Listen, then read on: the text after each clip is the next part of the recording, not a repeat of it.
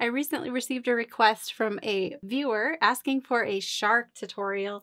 So today I have a picture in front of me from Pixabay of a shark and a little bit of coral underneath it. We're going to be painting it on an aqua board. So this is an ampersand aqua board. It's just a panel that has been coated and treated with a surface that's compatible with watercolor. And so what I'll do is the sketch first and then we'll need to wet it first to open up the surface and prepare it for painting. Um, but it's really, really easy to use and the lovely thing about an aqua board, of course, is that it's hard. It doesn't warp or buckle in any way. It's also very easy to lift paint back out, which is awesome. Really fun surface. So, okay, let's get started with the sketch. I'm going to tilt my board upright a little bit so that I can see what I'm doing better. And the picture I have, the shark is turning, so we don't see his tail, but we do see the top fin, and it's kind of off to the side of our composition right about here. So we'll just start with that. And then the shape of his body curves down, his head comes down this way. We're going to bring the nose right about here, dips in slightly, very subtle, comes back up a little and then forms the point. And the bottom of the body it's hovering right above the coral. And his mouth comes right about there. And frown frowns a little bit. You see this classic frown shape on the shark's mouth and then the curve of the body as it's turning away where the tail is lost to us. And we see this fin on the underside pointing outward like that. And I think I made that a little too low, so I'm going to raise it a little bit. I want to compare how high that is to the bottom of the belly, and I definitely made it too low. So I'm raising it up quite a bit to right about there, and then dipping the belly down and then this fin overlaps right above that one. Look for the space, the shape here when you're doing your sketch. I'm not looking at the shape of the fin necessarily, but I'm comparing the bottom of the fin to the bottom of the belly and how far apart those are. And then I can make a better judgment of where the top of the fin goes and how, how wide it is compared to the overall shape of the shark.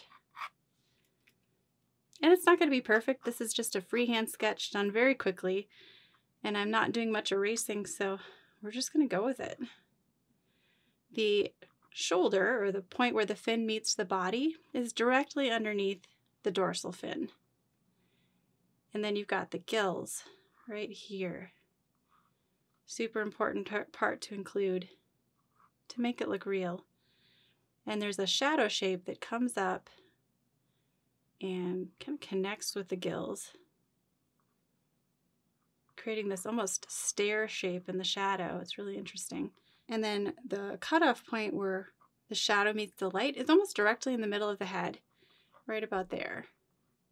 Curves down over the nose and then intersects the middle of the nose right there. Then you have light and then shadow right here. The eye. Let's look at the location of the eye. I would say it's about halfway between the tip of the nose and the gills. Right about there, yeah. Halfway is a good mark. There's a highlight over, the top of it. Most of the eye is in shadow.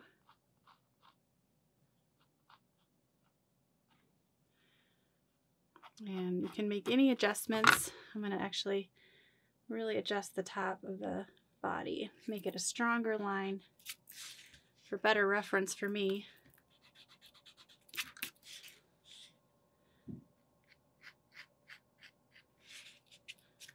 Better, stronger curve right there. And then I need to adjust the mouth. Comes in a little closer to the eye. Curves down.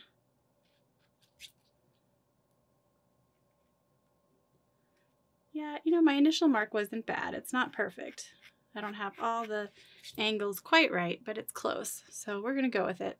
There's a dark shape right underneath the eye that comes right along it like that.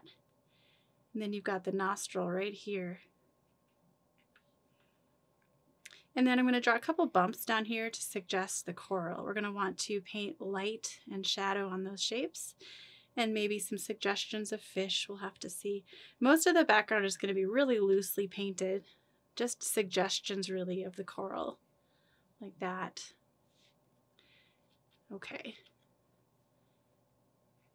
So I think that's it for the sketch. We're ready to start painting. Make sure you have paper towel or a rag on hand for blotting and controlling how much water is in your brush. And you'll want some water jars with clean water and your watercolor paints. So I'm going to start with water and just open up the whole surface, just loosely painting that on. You could also use a spray bottle to speed this up.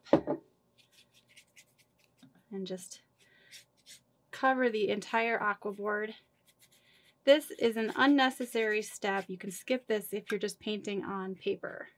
All right, so I'm actually gonna let that dry before I begin. Okay, our aqua board has dried enough that we can begin painting. Um, the shark, by the way, this one is a black tip reef shark, and we can tell that from the image because of the black tip on the fins, on the dorsal fin and on this fin. Um, so real easy to identify. My image doesn't have a ton of color in it. So as artists, we have this unique opportunity to play up the color and to make this artwork whatever we want. And so let's just have fun with that. It's up to you what kind of colors you want to choose for the background. In my reference photo, the background is just kind of this dark blue, which is, you know, not that exciting. So let's have fun with that and let's make it really fun. We're going to just re-wet the background all around the shark for now. I mean, you can work in sections if you struggle, if you have a dry climate or live in a dry climate like I do, and you struggle with your surface just drying really fast, then you can just work in sections. So for now, we can just take the top section here, right about up to there, and let's have fun dropping colors in. I'm going to start with ultramarine. And you can see how fun it is. It just sort of explodes on the paper. And I'm going to take some alizarin crimson mix that in. And of course, when you combine alizarin crimson and ultramarine, you get this rich royal purple. I'm going to take some indigo and darken the corner to create a vignette effect. I'm going to bring that right up to the fin. You'll slow down a little bit when you're painting right next to the outline of the shark itself. But try to scrub the paint around so that it doesn't look like you've just painted around the outline. You want it to look informal, painted loosely and quickly. And you want the background to just look like this whole world under the water. That's the goal here. That pop of bright blue I just added was phthalo blue. Now I want it to look like there's some coral here as well. So what I'm going to do is take some burnt sienna and mix it in with the color that's already in my brush and it's going to produce this more neutral grayish tone. And with that, I'm going to drop that in over here and actually leave some of the white of the aqua board showing on the top so that it looks like coral just catching the light from above. And we're just painting around our pencil marks. A little more carefully around the outline of the shark, of course. Alternate between blue and red and purple, whatever colors you want to create your underwater world. And if you don't like the shapes that you made, you can always mess with them and go over them and scrub them out again. The wonderful thing about Aquaboard is it really is adjustable. So here I'm adjusting the edge of my shape of the nose of the shark. Wasn't quite happy with that. So I'm bringing these dark blues all the way up to where I want my coral to go. But I like how that looks. It's much more exciting than the reference photo. so now let's go to the left side of the image. And we're going to do this the same way. You can actually do wet and wet without clean water. I'm going to start with murky water, dirty water. And I'm going to paint right up to this fin it's really important that you preserve the highlight along that fin, so be careful along that edge.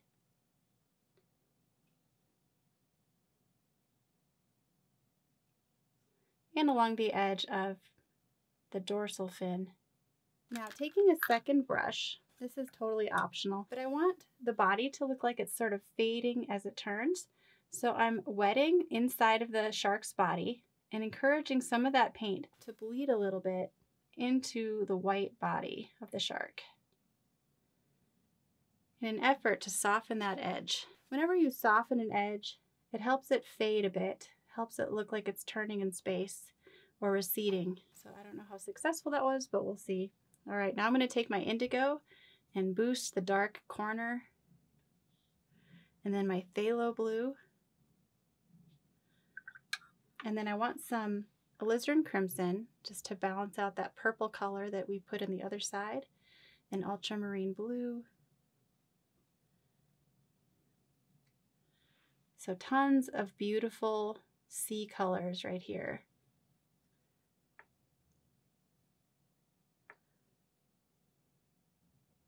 And if your surface is wet, it should just explode and blossom. And we'll just work our way all the way around the shark. Now towards the bottom, you might want to include some more coral. So just leave some of the white of the surface showing. So right here, my water and my brush are dirty. I'm carefully painting under the fin. I want to leave the highlights on those fins showing the sun or the light coming from above. So it's really important to slow down where you want to preserve those details.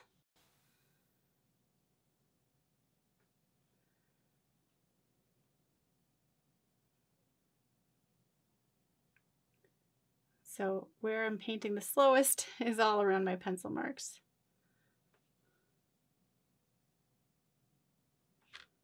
I'm going to go ahead and just outline the whole shark to preserve my drawing.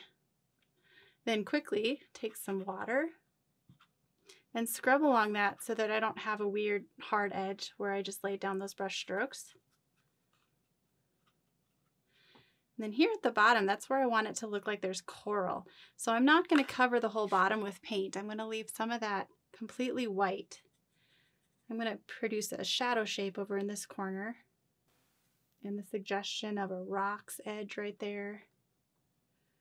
Going to take some alizarin crimson make it more purple and a little of my phthalo blue. Phthalo blue is really powerful. It's this cool blue and it's incredibly strong and vibrant.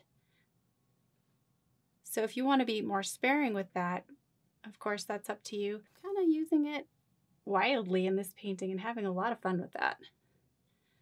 And I'm mixing in some more alizarin crimson here using blotty brush strokes, not being too specific, just suggesting the bumpy shape of the coral reef, of the water and the surface of the living things at the bottom of the ocean. What would that feel like? What would, what would the shapes be? Try to move your brush in the way you can imagine it feels. Taking a little bit of brown. Now that we're working on the coral, I want it to look a little bit more organic down here, a little bit more like the bottom of the ocean. And I'm actually going to take some of my green tones here. I have a leaf green, and there's still too much brown in my brush, so I'm going to rinse that out. Take that leaf green again. And actually maybe a little bit of hooker's green. That's this jungle green.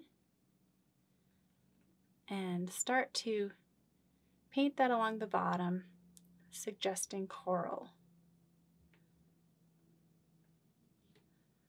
I'm really not hardly following my reference photo, very loosely at best.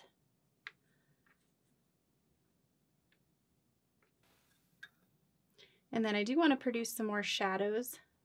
So I'm using indigo, just dropping generous amounts in with lots of water, darkening up the whole corner right here.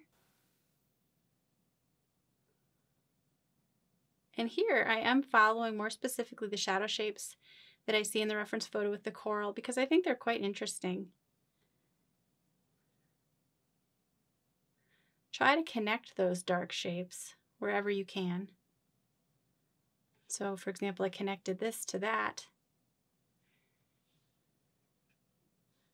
And then I'm going to create a connection from this shape to a shape right here which is also kind of producing this separation in the coral. We're starting to get a sense of the shapes, the ground, the texture.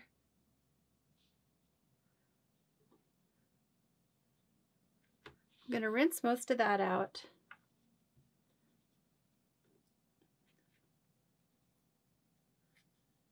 And then if any of your shapes you feel like maybe got too specific, you can always push and pull them, especially on an aquaboard. Just play with them. Cover them up if you feel like it's too blotty. For example, here at the top, I'm going to kind of soften that out, scrape that out sideways so that it feels more like flat water across the top. It's so fun working on an aquaboard because I can just do all these crazy cool things that you really can't do with paper. And already, if you look at this from far away, that really looks like water and it really looks like the ocean floor. So fun. Okay, so now we can move on to the shark. For the shark himself, I'm going to use mostly ultramarine blue and burnt sienna. When you combine these two colors, you get a really nice gray. So you can see that's really quite a perfect shark gray right there. And I'm going to take my cleanish brush and pre-wet this area. Now I want the top of the shark to stay really light in value, but I do want a nice soft blending from the dark gray to the light. So that's why I'm pre-wetting it to encourage that blending. Then with my loaded brush that has gray in it, I'm going to go in and drop in this mid-tone gray right over the top of the eye, except for that highlight. Paint around that. We're focusing right now on values, trying to get medium values right now, painting around the lightest values. And you can outline those gills right away if you want to. So there's a mid-tone right here along the side of the shark. I'm going to rinse that and remove the excess paint and water. So now I have an even lighter value in my brush. And then I'm softening that gray up towards the light so that it's a smooth, almost seamless transition from dark to light.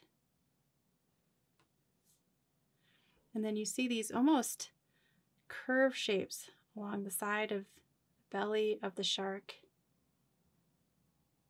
Make sure they're not too dark. You don't want those shapes overpowering it. Taking some more of that gray, bringing it to the underside.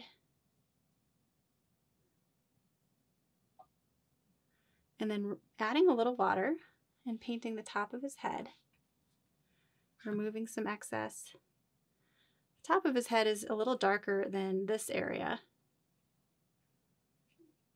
so adjust your values just by adding water. That's all you have to do. There's a dark shape inside of his dorsal fin. So we're going to paint that in right there. And then the black tip, you can use indigo or whatever dark color you have to paint the black tip of his dorsal fin.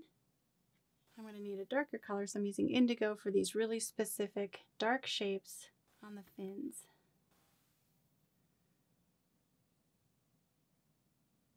Really just tracing my pencil line right there.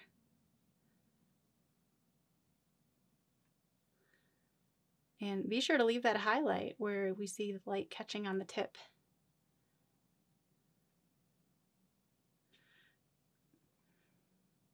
And his belly gets really dark right above this fin. And pretty much blends in with the underside of this fin just above it creating one merged shadow shape. I'm going to rinse that out and remove some of the paint, not all of it, but I still have a dark wash on my brush. And then I'm going to pull that color down and around, grabbing a little bit more dark paint right here, blending that in. Now I'm going to take some turquoise blue. This is a Holbein color. It's a Mediterranean blue. It's very cool. And I'm going to use this for the underside of his belly and the underside of his fins, which they're actually white in color, but of course, what we're seeing with the light and all the colors that are bouncing off the surface of the ocean floor, it's not going to be true white, but it does need to be light value compared to the background. And you can take that turquoise blue and apply it in other areas of the shark. Here where his body is turning and you see this kind of shadow shape on the side of his body right there. You can apply it there. Be sure to soften. And then I'm going to take some ultramarine, which is a warmer blue. It has more purple in it. And it's a little too bright. I'm going to rake that across the top of his fin. Pulling it down and over, kind of under this shoulder or where the fin meets the body. Grabbing some more dark paint. I'm going to get indigo for this. And painting just above that highlight. This little dark shadow I see in the reference. Painting pretty detailed here, but I wanted it to look real. I wanted it to look like a convincing, beautiful shark underwater. And so with that dark paint, really pumping up the value right here.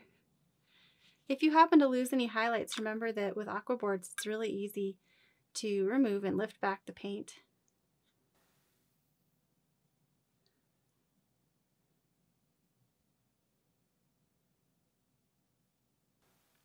I'm going to take that ultramarine again, boost that on its nose. There's a highlight there I'm going to need to restore. I'll show you guys in a minute. For now, though, it's really looking fun. He's looking like he's swimming under the water and just having a good time. I'm going to take a little bit of my Hansa yellow light and paint that along the underside of his belly, kind of reflecting the green that we're seeing in the coral here. Now I'm going to switch to a smaller brush. I'm going to take my Lebenzon small stiff white synthetic brush and I'm going to take pure indigo. This will serve as my black. You can actually mix in a little bit of brown to make it less blue if you wish. And now I'm going to paint the eye. So make sure you can rest your hand on something. I'm going to start with the dark center of the eye, just a circular shape. There's a little rim right there.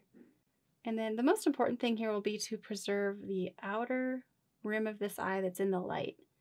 Then this pretty much just merges with the shadow and you're going to want to produce this dark shadow shape right here that connects all the way across like that. So just follow along with what you're seeing in the photo. Match your values. Sometimes it's easy to get distracted or confused by colors. If that's the case, then you can take a photo of your reference photo with your smartphone or do this in a photo editing software and desaturate the photo, take out all the color, and that makes it so much easier to see what's light, what's dark, what's a midtone.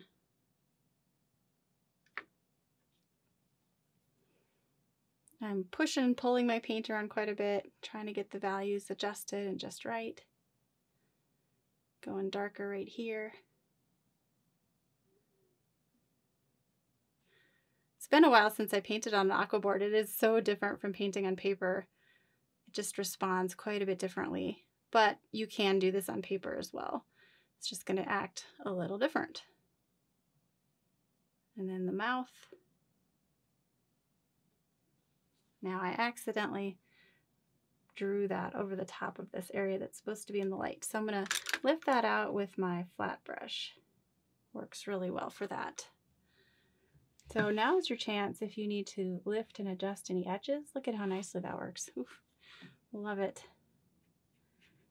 Stiff brushes work the best for lifting,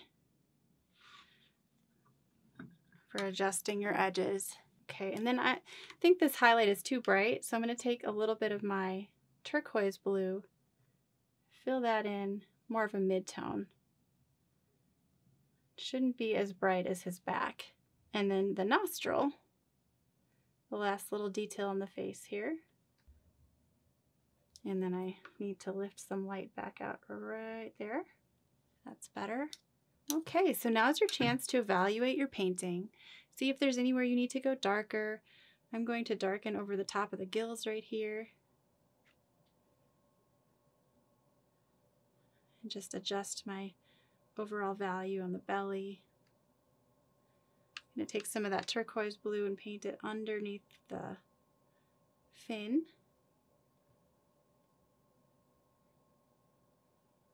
And underneath this one, go a bit darker.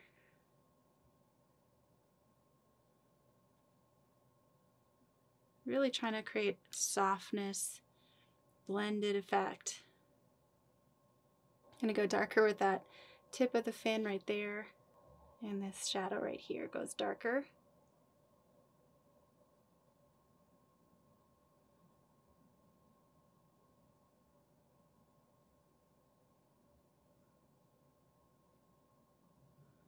It's looking so cool. All right, so as I mentioned before, the tip of the nose or the front of his head here has a highlight that I kind of lost.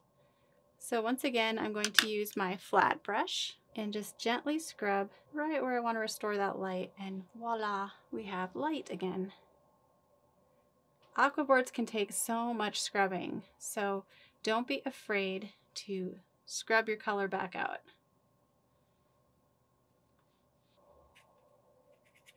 Push and pull your paint as much as you want. But yeah, I think that looks good. So there is our finished shark just in time for Shark Week. I hope you guys enjoyed this tutorial. Let me know in the comments if there's any other subjects you'd like to see on my YouTube channel. Thanks again and I'll see you in the next video.